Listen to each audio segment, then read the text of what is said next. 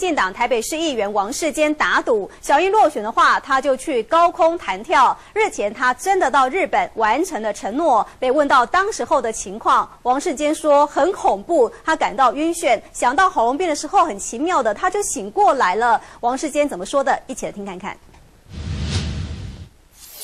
我跳下去的那一刹那是很恐怖的，可以说是一阵昏眩。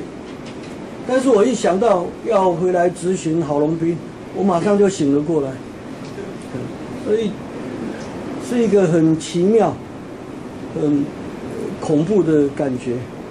当然，冷的话对血压影响很大，那天应该血压大概一百五、一百六左右吧。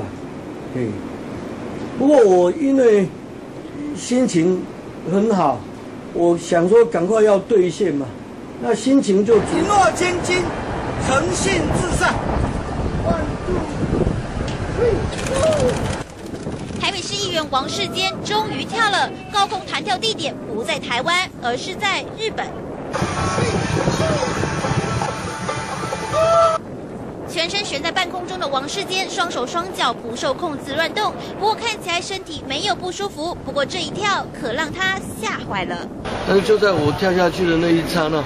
我更感觉到生命的可挑战生命最惊险一刻，王世坚兑现如果蔡英文没选上就高空弹跳的承诺。在跳之前，王世坚气喘吁吁和助理一起爬上楼梯，就定位置后马上向下跳，过程不到两分钟。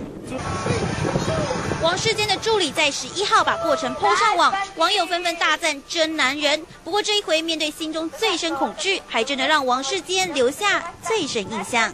一诺千金，诚信至上。真是李文婷台北综合报道。